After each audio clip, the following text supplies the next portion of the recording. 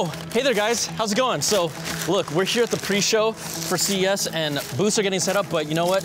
There's a lot of like stuff just all around the show floor from center of the booth, so I figured, ugh, let's just like, let's just help them out and put this somewhere, okay? So, um, I'm just gonna, let's just walk around, all right? Because, you know, at CES, everyone is tirelessly putting these booths together. There you go. Oh, you get it? Oh, excuse me. Excuse me, guys. I'm gonna come through. Thank you. Thank you. Thank you. See how nice people are here at CES. So, oh, hold on. Coming through. Coming through, guys. Coming through.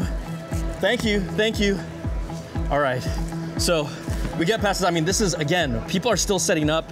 There's meetings. You know, uh, people that are gonna be on the show floor are talking, but one of the exciting things here at CES 2023 is, right, all the big tech trends that we're expecting to see. Um, we know it's always the big, bright TVs and displays from Samsung and LG. Those are gonna be on showcase and you know, we're gonna see new gaming monitors, displays that really like amp up the color, the fidelity, the resolution. Another big theme here also is sustainability tech. And what I mean by that is that hey, you know, companies back in the day, uh, Samsung was doing like a solar powered remote. Whew. And um, by doing that remote, it's kind of kind of kicked off. People are doing new things with their packaging, like Belkin, to really kind of create sustainability here. And uh, hold on one sec. Oh, my friend, can you help me out here? Yeah, yeah. Okay, be careful. Okay. Yeah, yeah. Good. Okay, in here. Oh, wow. See, what, what's your name? One. One, thank you very much. okay, no this, is, this is love here at CES. We got, we got it from point A to point B. All right, have a good show. All right.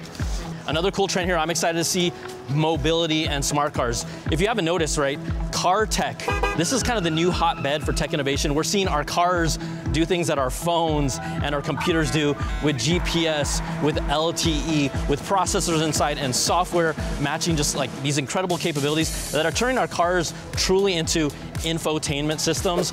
Um, another thing that we have, the smart home, the Internet of Things. This space constantly evolves. We're gonna see a whole lot of that showcased here. And then the, metaverse, right? The big M word. We've heard it for about a year or so. We're gonna see a lot of new demos and experiences of immersion. And this is, goes beyond just entertainment. We're talking about business applications and what these new virtual worlds mean for us in the future. Now, if we look right here, like I said, booths are still setting up. You can see the caution, the yellow tape.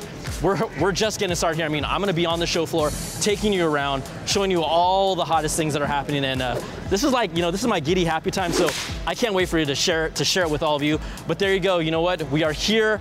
If there's one place to be, it's right here because we're gonna be having coverage going all through the week. You'll be able to watch me. I will be your guide. So guess what? The place to be, CES 2023.